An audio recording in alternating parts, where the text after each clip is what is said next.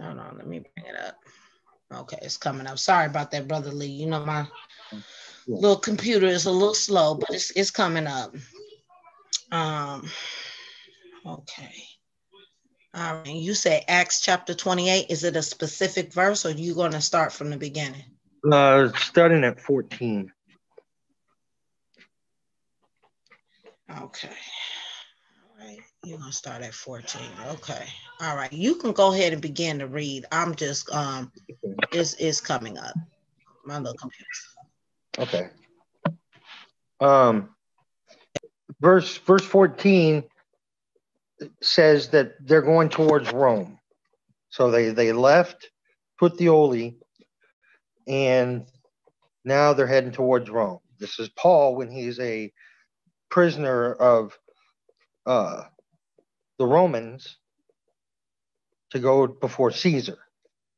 And he's going to Rome because he he said, if I be if I have done anything worthy of death, I appeal to Caesar because he's a Roman citizen. Paul's not only a Jew, but he was a Roman citizen. He was a free-born Roman citizen, not a slave, not a bondman, but free-born. And it says, and from thence, when the brethren heard of us, I'm sorry, I'm in the King James. Want me to read off your screen, Sister Cherry? Oh, I'm uh, um okay. I'm in the KJV. Okay. It starts out in the KJV, so uh, that's my default setting anyway. So yeah, it does. It doesn't matter. You can read from your Bible, or you can read from my screen. Um, okay. All yeah, right, so, so 15. And from thence, when the brethren heard of us, they came to meet us as far as Appii Forum and the three taverns, mm. whom, when Paul saw, he thanked God and took courage. In other words, boy, howdy, he thanked God. Oh, and I mean, he buckled down there, didn't he? Says that he took courage. And when he came to Rome, the centurion delivered the prisoners to the captain of the guard. But Paul was suffered to dwell by himself with a soldier that kept him. And it came to pass that after three days, Paul called the chief of the Jews together. And when they were come together, he said unto them, Men and brethren, though I have committed nothing against the people or the customs of our fathers, yet was I delivered prisoner from Jerusalem into the hands of the Romans, who, when they examined me, would have let me go, because there was no cause of death in me. But when the Jews spake against it, I was constrained to appeal unto Caesar not that I ought to accuse my nation of, of. So he didn't have anything to accuse them of, other than they were trying to kill him. For this cause, therefore, therefore have I called for you, to see you and to speak to you. These are the Jews in Rome. Because that of the hope of Israel I am bound with this chain. And they said unto him, we neither received letters out of Judea concerning thee, neither any of the brethren that came shewed or spake any harm of thee. But we desire to hear thee, hear of thee what thou thinkest for concerning this sect. So you had the sect of the uh, Sadducees, you had the sect of the Pharisees, and they're saying a sect of the Nazarene, because earlier Paul's called the ringleader of the Nazarene in another chapter of Acts. For we for we know that everywhere it is spoken against. So everywhere that Christian is coming, the about Christ, the gospel, it's spoken of against by the Jews.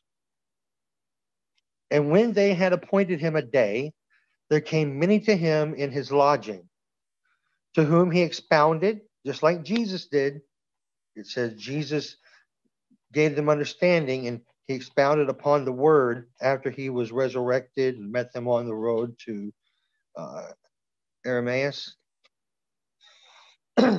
um, persuading them, oh, and testified the kingdom of God, persuading them concerning Jesus, both out of the law of Moses and out of the prophets from morning until evening. And some believed the things which were spoken, and some believed not. And when they agreed not among themselves, they departed. After that, Paul had spoken one word. Okay, so he, it says one word. He, I mean, he said nothing else except for what God put in his mouth, and Christ gave him the mouth to say. Well spake the Holy Ghost by Esaias the prophet unto our fathers, saying, Go unto this people and say, Hearing you shall hear and shall not understand, and seeing you shall see and not perceive. Jesus said these exact same words For the heart of this people is waxed gross, and their ears are dull of hearing, and their eyes have they closed, lest they should see with their eyes and hear with their ears and understand with their heart and should be converted. Jesus said, Unless you become as a small child and are converted, shall not enter into the kingdom of God. And he says, And I should heal them. Be it known, therefore, unto you, and he's talking to the Jews, that the salvation of God is sent unto the Gentiles and they shall hear it. And when he had said these words, the Jews departed and had great reasoning among themselves. They were without understanding. And Paul dwelt two whole years in his own hired house. Remember, he was a tent maker. So he had to have either had money that he saved up from making tents, or he was making tents and hired his own house and received all that came in unto him. So he was a host, anybody that came in. The Romans weren't keeping him locked up in a prison. He was in his own house and had visitors, although he had a Roman centurion with him, preaching the kingdom of God and teaching those things which concern the Lord Jesus Christ with all confidence, no man forbidding him. No Roman ever made him stop preaching things concerning and teaching the things concerning the Lord Jesus Christ. So the whole salvation is of the Jews, yes. It is because Jesus was born a Jew and he saved his own people from their sins if they're converted and born again. Just like he said to, just like Sister Cherry said last night, as he said to uh, John chapter 3, he says it to, um, excuse, help me out, Sister Cherry. Who does Jesus, who's Jesus talking to in John chapter 3? Nicodemus. He was he was talking to Nicodemus. Sorry. That's just like he told Nicodemus, unless you are born of water and spirit, you shall not see enter into the kingdom of God. Mm-hmm. You must be born again. And the Jews cannot, for the life, the fleshly Jews, they have the carnal mind, that are not converted and given the Holy Ghost, the gift of the Holy Ghost, to give them the, the gift of discernment, where they can compare spiritual things upon spiritual things. But they're still in the Old Testament where they're looking at things line upon line. Mm. Paul said it's not line, it's not, it's it's it's comparing spiritual things to spiritual things. That's Just right. like he said that the spirit of the prophets are subject to the prophets. That's right. There's conversations. Right. You can have a conversation going on with, with in, in in when you're reading the Holy Bible, where you'll hear the words that Jesus spoke. Paul speaks them to the T about their heart being wax gross. They, they, they think that they have it figured out, but they lack the Holy Ghost, the, to, to give them the discernment. He said earlier that it was only Israel that's in the church.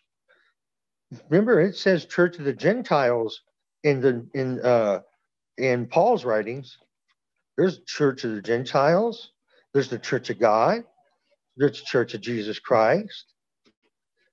It says that's exactly what it says. Church of Jesus Christ, Church of God, Church of the Gentiles.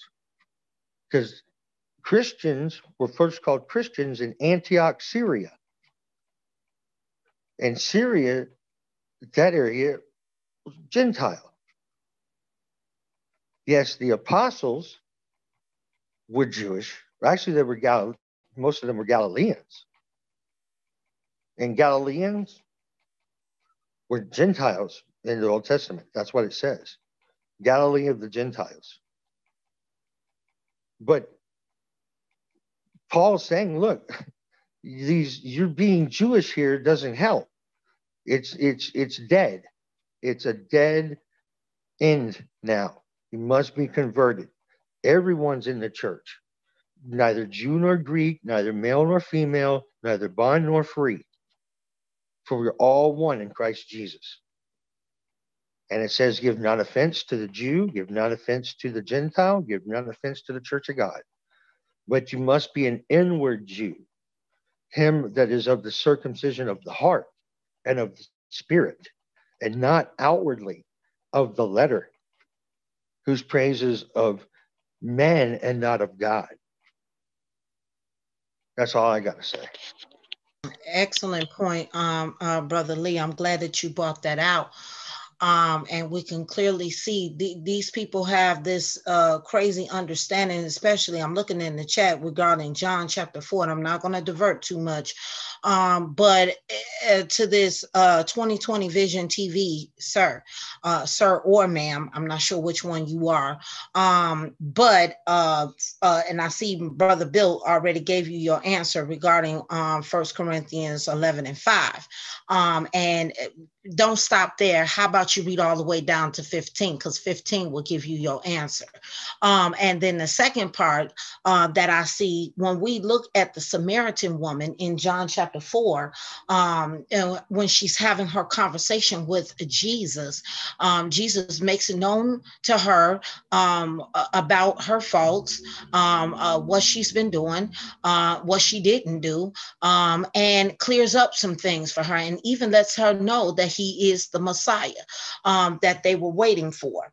But he says something very profound uh, uh, that Hebrew Israelites and uh, quite a few people uh, overlook, uh, bypass. This is why I say that even the words like and, he, said, go, say to this people, keeping on, seeing on, but do not such and such. You get what, what I'm trying to say every letter, every word in the Bible is crucial because going back to John chapter 4, they will realize that Jesus is not saying that salvation is only for the Jews, but salvation came out of the Jews, came out of the Jews, and that salvation is Jesus Christ. Second point, when you look at Romans 1:16, this will go along with what Brother Lee just said. It says that Paul says, I am not ashamed of the gospel, for the gospel is the power of God for salvation. In KJV, it says unto, but they're doing unto and for is doing the same thing. So again, it's not saying that it's only for one sect of people. Salvation is for all who reaches out to grab it. And, and one uh, another part, Brother Brian and Brother Lee, what I believe that these crazy people, God bless you, Sister Mil, uh, Mama Millicent, I see you.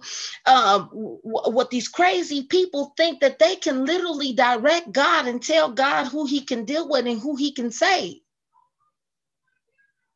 Jesus proved against that. He showed examples. You don't tell me what to do. I deal with whoever I want to deal with. I save whoever I want to save. I say what I want to say, and I say that salvation is for all. He said, If I be lifted up, I will draw all men unto me. How you gonna stop that? How you gonna stop God? That's really the question. And I think you already know the answer to that question. You can't. So you're really fighting a battle, a losing battle. Exactly. Isaiah chapter 6, verse 8, Brother Brian. And it says here, and I heard the voice of the Lord saying, Whom shall I send? And who will go for us? Notice that's plural. then he said, Here I am, send me. This is Isaiah speaking. And he said, Go and say to this people, keep on hearing, but do not understand. Keep on seeing, but do not perceive. Make mm-hmm. the heart of this people dull and their ears heavy, and blind their eyes, lest they see with their eyes and hear with their ears, and understand mm-hmm. with their hearts and turn and be healed. Brother Brian, why you have me go here? Because that verse that uh, Lee just read is Acts 28, and that is the the uh, prophecy being fulfilled of the first uh, what we call the first advent of Christ. This mm-hmm. is I'm going to say it just like that. It's because that's what it is. The first advent. The 2nd mm-hmm. advent is second coming when he reigns reigns comes uh comes in the clouds with as a king coming back. Right now, right now, Jesus is intercessing for mankind. He mm. is a priest. He is the high priest over the house of God. Mm-hmm. right now, he says right here, he quoted this verse in Acts 28. This verse is actually quoted a lot of times. So what is it? It says right here, and it says, it says right here in verse 11, it says, then, then he says, uh, right after he says, make this heart people fat and their eyes heavy mm-hmm. and shut their eyes, lest they see with their eyes and hear with their eye, ears and understand with their heart and convert and be healed. Mm-hmm. Then said, uh, Lord, how long? And he gives an answer right here. He says, he says, until the cities be wasted without habitat, without inhabitant, and the houses without man, and the letterly and the land be utterly destroyed. Mm. That's the reason before a certain time the land over there was desolate. desolate. Mm-hmm. Mm-hmm. Now it's like the Garden Eden. But let's keep going. It says, And the Lord have removed men far away, and there will be a great forsaken in the midst of the land. Mm-hmm. But yet in it shall be a tenth, and it shall return and shall be eaten as a teil tree, as an oak whose substance is in them. Mm. When they cast their leaves, this is key. So the holy sh- seed shall be the substance thereof. So notice this, was, this is what I was them, for last time. Okay, go ahead. Go ahead. I'm sorry. So he's pointing to the holy seed. So he's mm. letting them know before before Babylon that they're going to be destroyed. The land's going to be in destruction. And then he's going to say the holy seed is going to be the key. So when the remnant comes back after destruction, no matter what these uh uh fake lights running around here talking about, oh, we were blinded, we're this and we that, that, that, that. no, mm-hmm. no. Mm-hmm. Mm-hmm. The Bible never says that they will lose their identity. That no, is a myth. That's a made up made up thing. But right here in John and John and um, Isaiah, Acts 28, Paul quotes that. But who else quotes that? Oh, Jesus quotes that verse. That. Mm-hmm. Mm-hmm. Why is he quoting this? You, everybody need to look in there, look at themselves, and go, "Why is he quoting this?" All you fake lights out there that think you're Israel, you need to ask yourself, "Why is he quoting this? Why is he quoting this? Why is he blind in Israel? Mm. Why is he blind in Israel? Why?" According to this text in this Bible, Israel's supposed to be blind in unbelief until the the the one that comes from Zion, which is Jesus, and opens their eyes. Because Jesus plainly says, You will not see me again, and you say, Blessed is the one that comes in the name of the Lord. Right. All through the scriptures. Right. And and and and the key is let's go to let's go to John 9. And this is this is this is key because I want to read this one because I think sometimes we kind of skip over this and watch what Jesus says to these. Mm-hmm. He, he's going up against the Pharisees, of course. But he says, uh, I'll start in verse one. This is going to be a long chapter, Pay attention to every word because chapter nine is probably one of the best chapters in John. Come on, bro, bring it. And as Jesus passed by, he saw a man which was blind from his birth. And his mm-hmm. disciples asked him, saying, Master, who did sin, this man or his parents, that he was born blind? Jesus answered, Neither have this man sinned nor his parents, but the works of God should be manifest in him. I must do the works of him that sent me. While it is day, the night is coming when no man can work. As long as I'm in the world, I am the light of the world. When he had thus spoken, he spat on the ground and made clay of the spittle, and he anointed his eyes and blind and uh, uh, the eyes of the blind man with clay. He said, "Go wash in the pool of Siloam." which is interpretation sent. He went his way and therefore washed, and he came seeing. The neighbors, therefore, and they said, which were before him, seeing him that he was blind, said, Is this not he not this, he that sat and begged? Some said, This is he. Others says, uh, he is like him, but he says, I am he. Therefore said they unto him, How were thy eyes opened? He answered and said, A man that is called Jesus made clay, anointed my eyes, and said unto me, Go to the pool of Siloam and wash. I went and washed, and I received sight. Now, let me ask you, Sashir, in Genesis, did God curse the ground too? Uh, uh, when Adam and Eve messed up. Yep. No, he yeah, yeah he, cur- uh, he, yeah, he cursed, it. Cursed yeah, the ground too. You got to till it. You got to you got to work the land for it to work for you. So yeah, Notice, because it wasn't like Jesus take dirt. He took dirt, put it on the man's eyes. Then he told him to go wash in the pool, and then they made it uh made it uh, made a made a distinction in the text, which is interpretation sent. Mm. Who, who is the sent one? Oh, Jesus Christ. Hmm, let me keep going. Then said they unto him, Where is he? He says, I know not. They brought to the Pharisees in him that afore was blind. And it was the Sabbath day when Jesus made the clay and opened his eyes. Then again, the Pharisees also asked him, He had received his sight.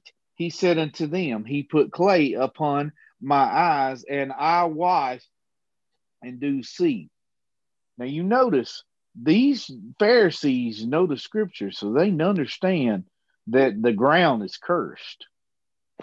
Therefore, some of the mm. Pharisees this man is not, not of God, because he keepeth not the Sabbath day. Other says, How can the, how can a man that is a sinner do such miracles? And there was division among them. They said unto the blind man again, What sayest thou of him? That he opened, he had opened thine eyes. He said, Is he he is a prophet? But the Jews did not believe concerning him that he had been blind and received his sight until they called the parents of him and received his sight. And they asked him, saying, Is this your son who you say born blind? How then does he now see? And he, his parents answered them and said, We know that this is our son and that he was born blind, but by what means he now seeth we know not. Or who has opened his eyes? We know not. He is of age. Ask him. He shall speak for himself. These words spake his parents because they feared the Jews. For the Jews have agreed already that if any man did confess that he was the Christ, he shall be put out of the synagogue. Therefore said his parents, He is of age, ask him. Then again called the man that was blind and said, Give God praise. We know that this man is a sinner. He answered and says, Whether he be a sinner or no, I know not. One thing I know that where I was blind, now I see. Then said they to him again, What did he do to thee? Now he opened he eyes. He answered them, I've told you already, and you did not hear. Wherefore would you hear it again? Will you also be his disciples? Then they reviled him and said, Thou art his disciple, but we are Moses' disciples. We know that God spake unto Moses. As for this fellow, we know not whence he is. The man answered and said unto them, Where he hold on, hold on, is hold on, hold on, back up, back up. It just shows you mm-hmm. how out of order these Pharisees are. Let me ask you a question. Did mm-hmm. Moses set out to create disciples for himself? Nope.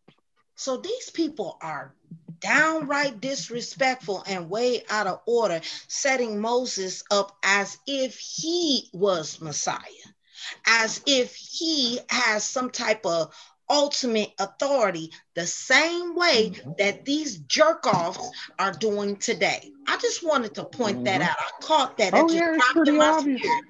It's obvious. Brian. Yep, exactly. Brian. So yeah. Paul was a mm-hmm. Jew.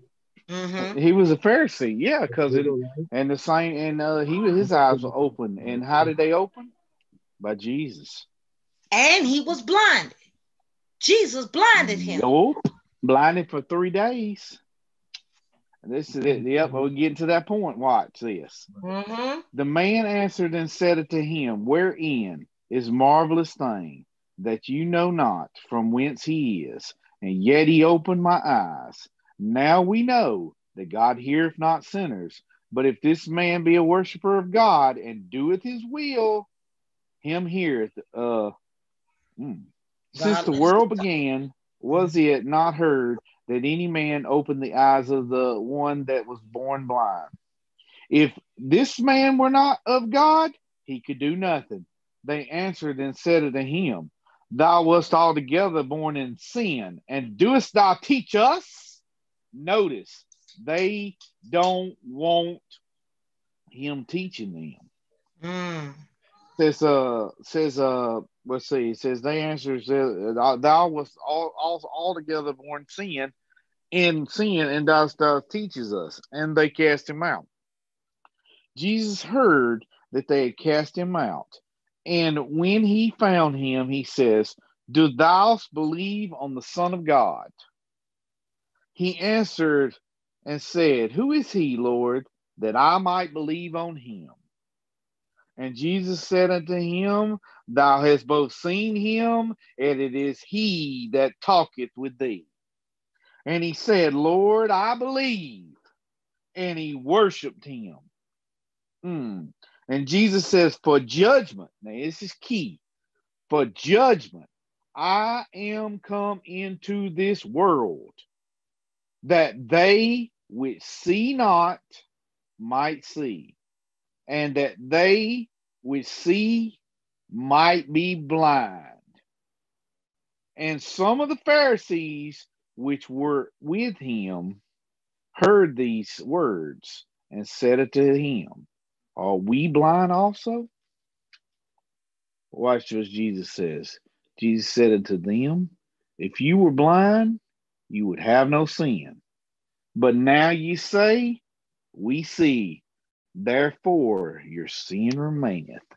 And I'm going to read one more verse because I want to add to it because this is key because I want to back everything up on this one because this is the big one right here.